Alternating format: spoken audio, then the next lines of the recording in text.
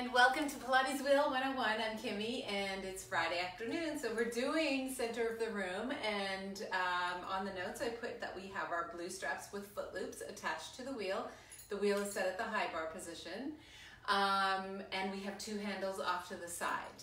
So um, we're, we're going through sort of a beginner version of a full body workout um, and so let's make sure you have the written consent of your healthcare provider before we start this workout. And we are going to come onto our backs. So when we come down onto our backs, we're going to have the wheel sort of at the top of our head. And um, our foot loops are going to be um, kind of extended out and we're going to reach both hands up and grab onto your bar. And then we're gonna take our right hand to the left foot loop. And we're going to put our foot in the foot loop. And then we're gonna take our right hand back onto the foot bar, we're gonna, or onto the bar, and then we're gonna take our left hand and grab onto the right foot. So now that we have our feet in the straps, where our heels are extended up toward the ceiling, we're holding onto the bar. So our shoulder girdle is working just to hold the bar um, and the wheel above our head in a stable position. So we're connecting our heels, our toes are apart, we're pointing the toes slightly, and from here we're going to take an inhale. We're pressing our tailbone into the mat and we're hugging our rib cage in. So as we're pressing our tailbone into the mat, our belly button is drawing deep in towards your spine and our shoulder blades are sort of running down our back. We're grabbing onto the muscles underneath the armpits to um, activate our shoulder girdle and then we're going to take an inhale and then as we exhale we bring our heels down toward the well or the uh, mat and inhale lift them back up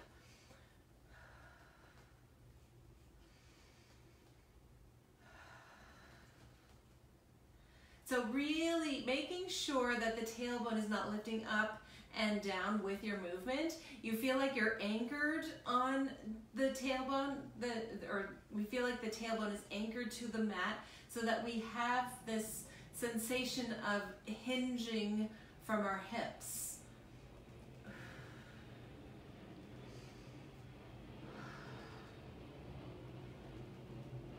And last one like that. Let's bring the feet back up toward the ceiling.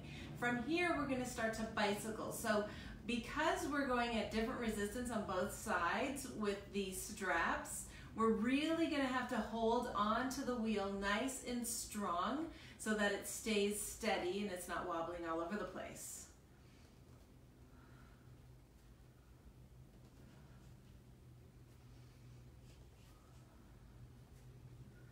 So I um, also want you to think about pressing the base of the skull into the mat so the chin is not pushing up toward the ceiling. We're reaching the crown of the head toward the back of the room. And when we're doing our bicycle, another thing that I want you to think about is keeping everything in line.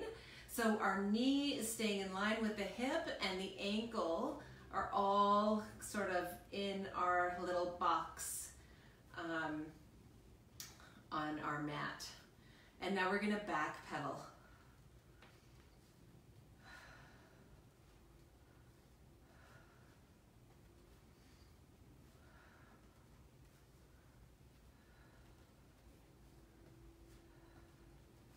And seven, eight, nine, and 10. Now, um, from here, our legs are coming straight up. We're gonna keep the heels connected and the toes are open. And we're gonna bend our knees in. The knees are coming, they're going to be set up right above the hips. So don't come in further so that you're at a, uh, a deeper angle. You wanna keep it 90 degrees in the, in the knees. And now from here, we're gonna exhale, ex extend the legs out long, spiraling your inner thighs toward each other, connecting everything in the center, and then bend it back in.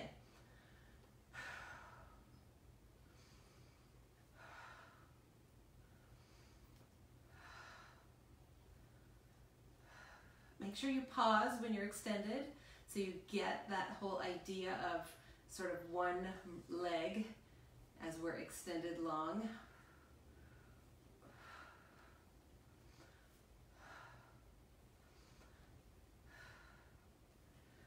And last one.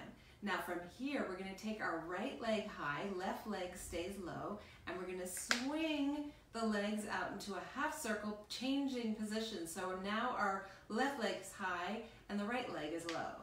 And right back to where we started. This one's called helicopter, and we kind of see why now.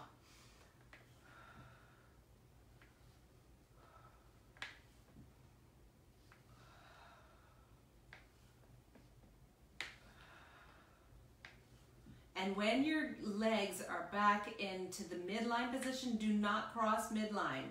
Still keep at hip distance.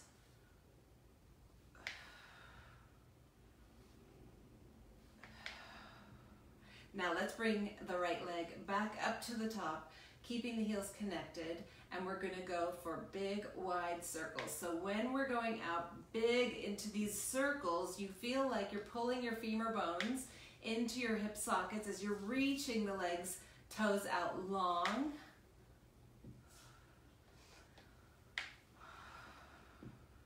Feeling the stretches in the inner thighs as you go out and around.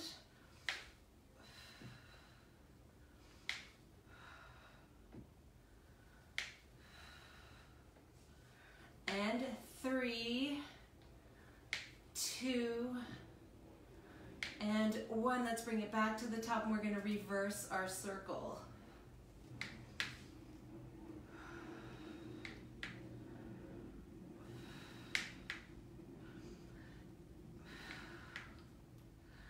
Now check in where your shoulders are, making sure, because we haven't taken a break at all to stretch the shoulders out, making sure that the shoulders are really working and drawing down your back and you're not hiking them up into your ears.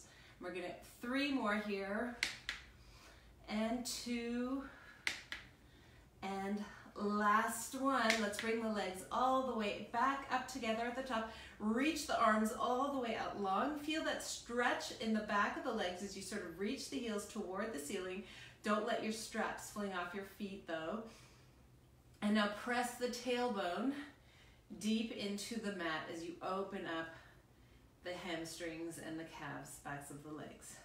Bend your elbows back in, bend your left knee in, reach up and grab onto the strap with your right hand and switch to the other side. And now from here, we're going to come on up and we're going to keep the straps on. We're gonna go for some side legs. So we're right up against our wheel. So the wheel is sort of tucked underneath us. Um, a good position for it is sort of uh, underneath the rib cage. And your, we're starting on our left side. So your right hand is on the other side of the wheel and your left leg has the strap attached onto the foot. Um, so you're holding onto the, the bar with both hands and our hips are stacked. So make sure both hip bones are pointing forward and your shoulders are drawing down and they're both square as well. And now you're gonna lift your right or your left leg up and down, keeping the toe and the hip lined up with one another um, so that we're not externally rotating that foot, that leg open, you keep it parallel. Six, seven, eight, nine, and 10. Hold that leg high, and now we're gonna start circles.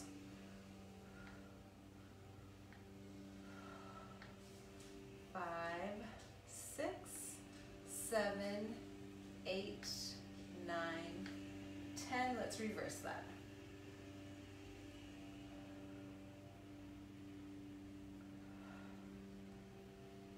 And seven, eight, nine, ten. Let's keep the foot loop on that leg. We're coming up onto our knees holding on to the wheel with our hands, keeping it nice and steady. So the wheel's gonna be slightly forward of the shoulders. That way we can have an extra resistance on the strap. And from here, we're gonna extend the leg all the way out behind, keeping the hip lined up on your right side. And now bend it back in and extend.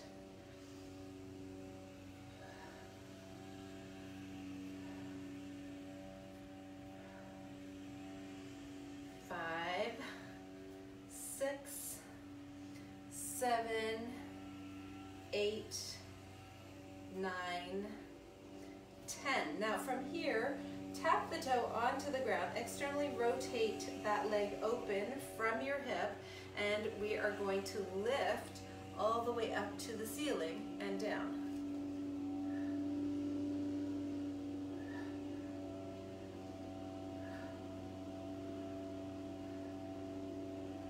And six, seven, eight, nine, and 10. Let's bend that leg back in, take the strap off, and we're just gonna turn and face the other direction. So we have now our right leg is gonna go into the strap and our left arm is on the other side of the bar.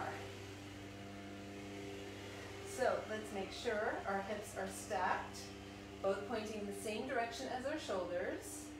We're gonna lift that leg up and down on the ground.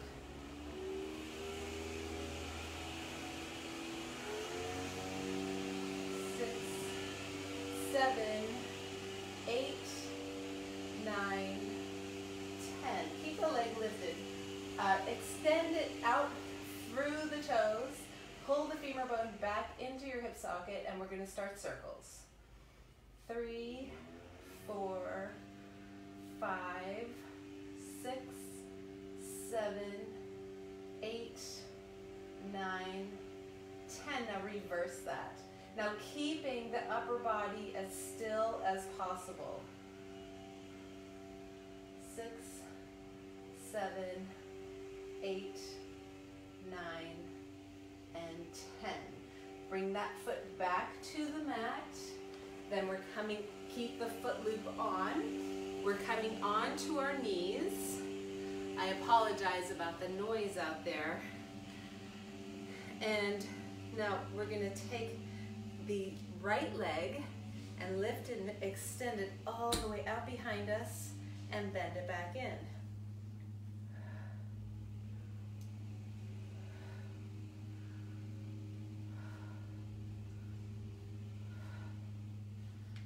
Six, seven, eight, nine, and 10. Point the toe, externally rotate that leg out from your hip and lift it all the way up toward the ceiling.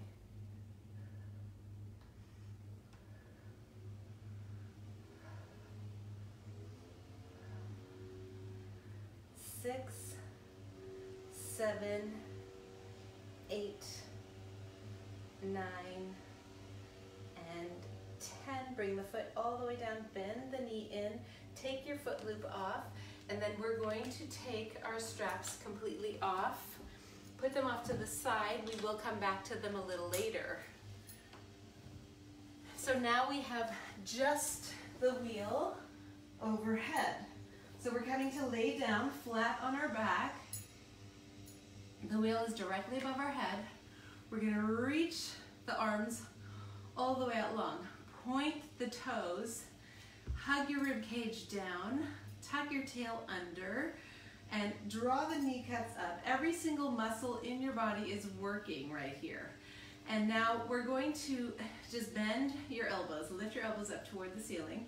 As we take the wheel, roll it toward our head, lift it up off the ground over the head, take it to the chest, and now start to extend the arms out long. As you tuck the chin to the chest, look down toward your belly button, and then we're going to roll all the way up without using momentum. Wheel comes to the mat, and we reach forward with the wheel. So we're oppositionally pull, pulling or reaching the wheel forward as we draw our navel deep into our spine, reaching, and then pull it all the way back. So start to roll the wheel back as you curl one vertebrae at a time. All the way down to the mat. Bring the wheel to your chest and lift it just above the head, overhead. And now let's take an inhale and then as we exhale, we start to bring the wheel across the chest. Tuck the chin to the chest. Start to curl the head, neck, and shoulders up, rounding all the way up as we reach, trying to go beyond the toes. You're not flexible like me, you don't go beyond the toes. Rounding one vertebrae at a time all the way back and lift the wheel overhead.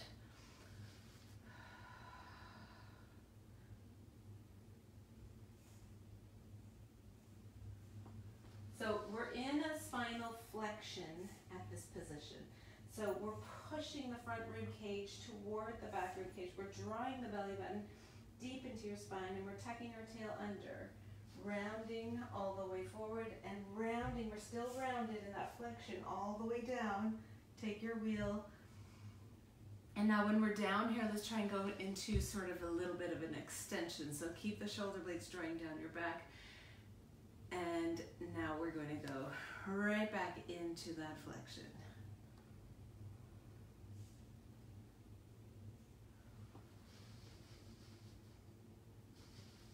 Just feeling the stretches down the backs of the legs when you're coming forward as well.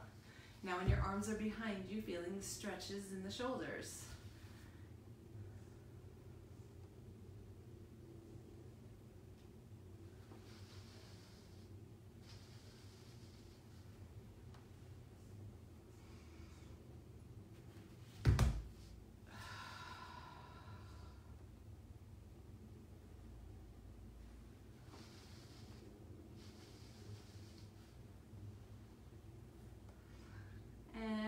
Two more right here.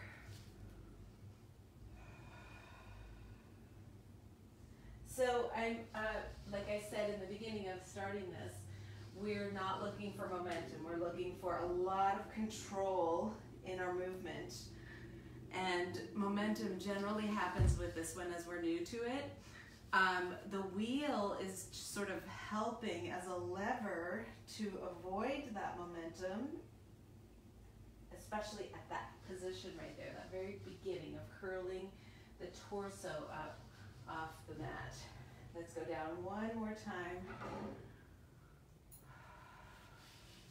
And then let's just leave the wheel right above the head and we're going to come on up and we're going to attach, well first we have to take the foot loops off the blue straps. They're going to, we're going to reattach the foot loops with the handles doubled up on the, uh, the wheel. We're going to leave the wheel at the high bar.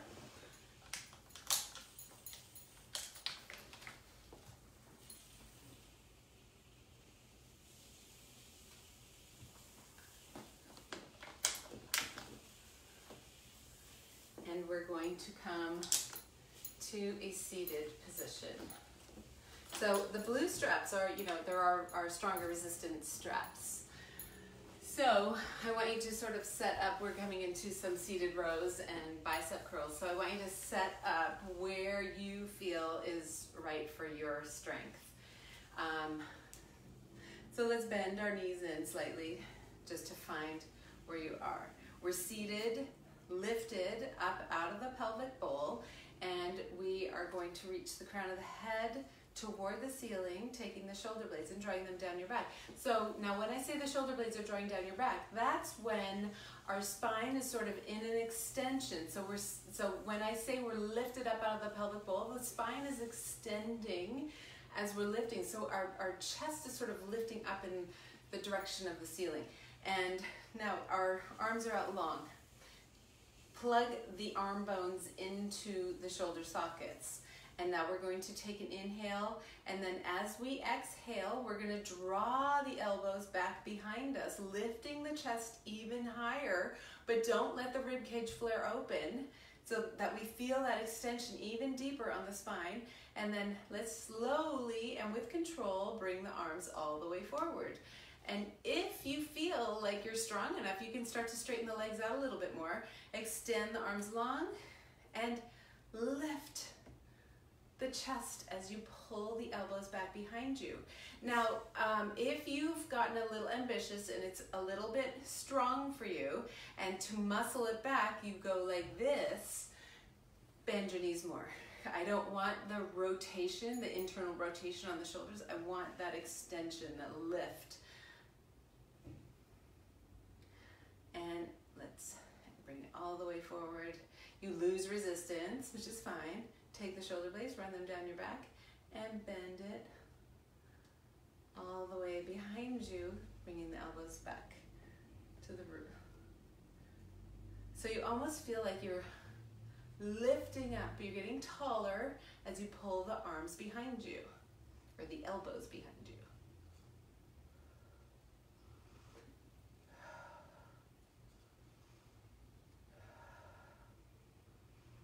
And three, two, and one. Now from here, I'm gonna bend my knees in because I know I'm not quite strong enough to get this bicep curl happening in the right way.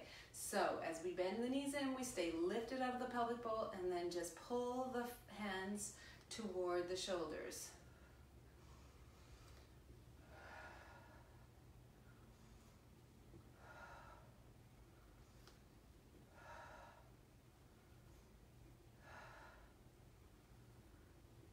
Seven, eight, nine, and 10. Extend the arms all the way out long. Stretch those biceps out because they've just been in a concentrated form. And we're gonna reach down and take the blue straps off, put them off to the side. And now we are gonna drop our foot bar all the way down to the lower level. So grab your knob, lift, twist it to loosen, open it up, and bring it, drop your bar down. Make sure it's locked and tightened to the, uh, make sure it's stable.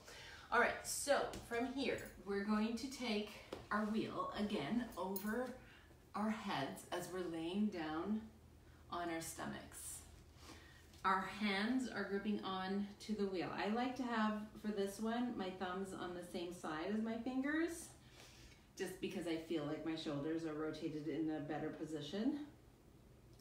And from here, we're gonna press the tops of the feet into the mat as we tuck our tail, draw our kneecaps up. So our legs are sort of, um, the feet are not lifted, but the legs are sort of lifted up off the mat. And now we're tucking our tail under, draw the shoulder blades down your back, as you take an inhale and then, ex sorry, exhale all that air out of your lungs. And then as we take long arms, reach the crown of the head, pull your wheel toward you as we lift up. We're still inhaling and then we're exhaling as we bring it down. Inhale, lift. Keep the arms long and exhale down. Inhale, lift. And exhale, bring it down. So this is going for that very exaggerated extension on our spine. I'm such a fan of these because I believe that they're so healthy and good for us.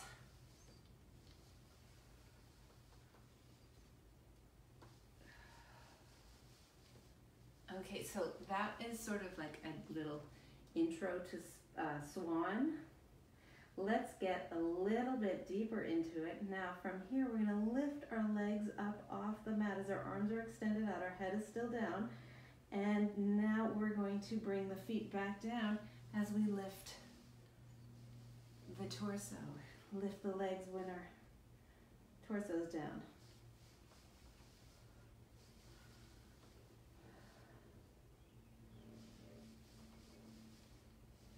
Oh, go one more time. Excellent. Okay, so from here, I just want to give our backs a little stretch. So let's come up onto our knees and we are going to sit back onto the heels, open the knees, keep the heels together, and then reach the arms all the way forward as we bring our chest between the knees and bring, if you can, the forehead to the mat.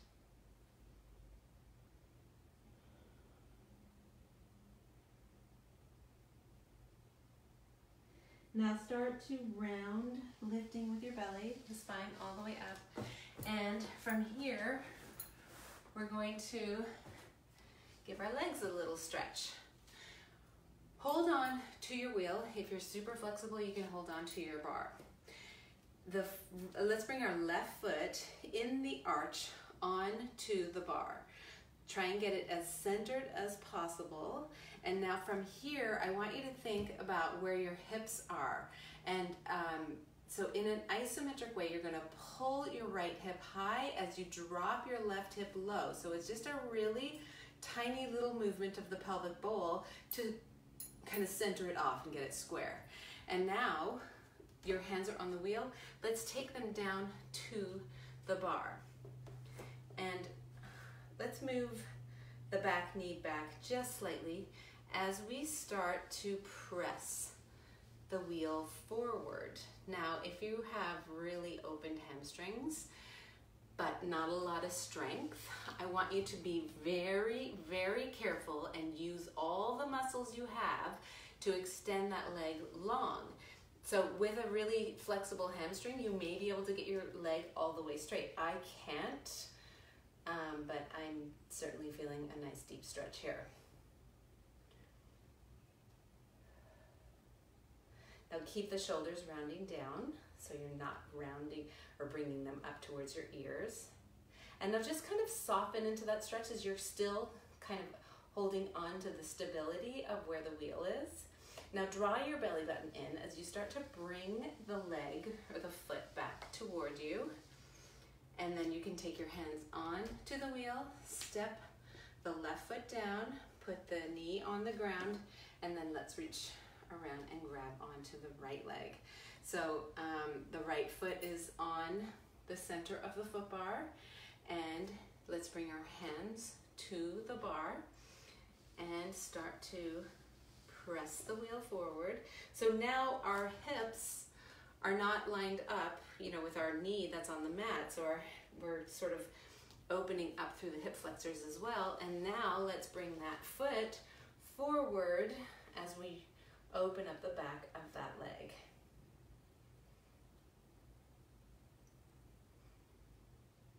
And now draw your belly button in as you start to bring the wheel back to you.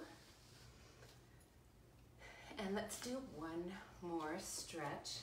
So now, so you bring your foot back on the ground, line the knees up with your hips. Press the tops of the feet into the mat. Now tuck your chin into your chest, round, tuck your tail underneath you, rounding your spine as you start to press the wheel forward with long arms.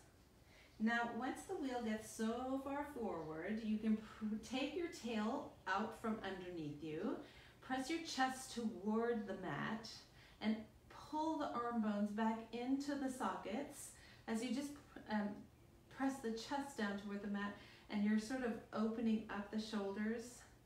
This is a kind of a half downward dog with a deeper shoulder stretch because the wheel can take you a little bit further. Now from here, we're gonna scoop our belly under. Look down toward your belly button and rounding all the way back up. And that is our workout for the day. So um, thanks for coming to watch on Friday afternoon and I will be here Sunday morning at 9 a.m. Uh, for the DLX and it will be a full body um, 101 beginner workout. All right, uh, have a great Friday and I will see you soon.